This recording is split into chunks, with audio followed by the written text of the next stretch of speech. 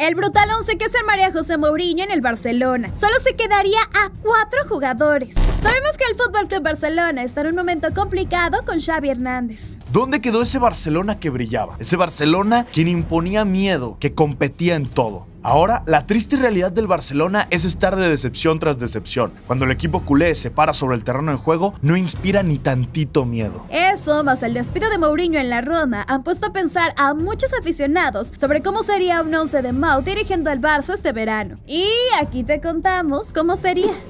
Portero David De Gea. En la portería tendremos a David De Gea, un portero que lleva muy buena relación con Mourinho. Un jugador que sabemos que actualmente no tiene equipo y podrá llegar perfectamente a la portería. Lateral derecho, Cancelo. El portugués que juega por la banda derecha es una adoración para Mourinho, no solo por su estilo de juego, su habilidad en el campo, cómo puede llegar a línea de fondo y clavarse también en el medio campo, sino que también es un portugués. Central derecho, Araujo. En la central se irá uno de los intocables, Ronald Araujo, el central uruguayo que el mismo John Laporta ha dicho que no se mueve y no se vende. Seguiría en la central aprovechando su estatura y su fuerza. Y tiene ese ADN de lucha que tanto le gusta a Mourinho. Central izquierdo. Harry Maguire. A ver, gambeteros, tranquilos aquí, no nos maten. Este es el 11 que Mourinho podría armar, no el que nos gustaría que armara. Maguire por poco coincide con Mourinho en el United, pero no pudo ser. El central más caro de la premia llegaría para hacer la dupla del uruguayo. Sería un fichaje muy barato y al Special One le encanta rescatar carreras. Lateral izquierdo, Leonardo Spinazzola.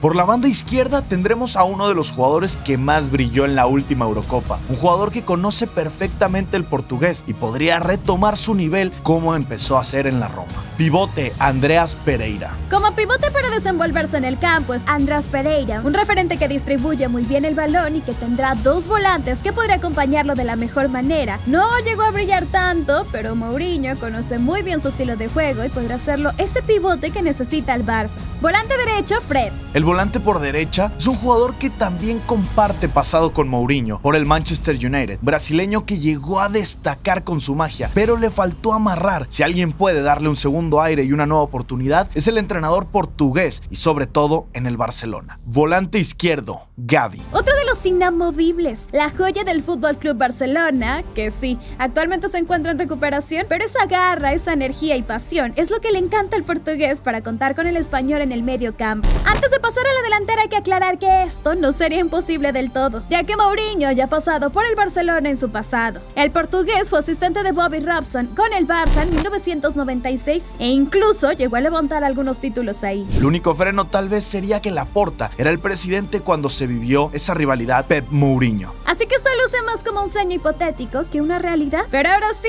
vamos con el ataque. Extremo derecho, Dybala. Otro que conoce perfectamente y se llevó a la Roma es el argentino. Su habilidad y visión en el campo son perfectas para posicionarlo como extremo, ya que podría pegar de larga distancia o buscar la opción de centro. Extremo izquierdo, Félix. El consentido Joe Félix se podría convertir en el consentido de Mo, ya que el jugador le ha costado un poco brillar, pero si alguien lo puede hacer, un extremo nato con personalidad y carácter igual que del entrenador es nada más y nada menos que The Special One. Delantero Lukaku. Y en la delantera tenemos al toro. Qué mejor manera de acomodar este tridente, con dos expertos por las bandas y un verdadero toro a la hora de atacar. Alguien que tiene un disparo potente, un físico impresionante y la habilidad de derribar defensas para llegar al área y romper las redes. Este sería el cuadro con los que Mourinho podría rescatar al Barcelona. Sabemos que el portugués le gustan los retos. El mismo se ha llamado The Special One, equipo donde llega, equipo donde consigue algún título. ¿Creen que el Special One ganaría algo en Barcelona? Los leo en los comentarios.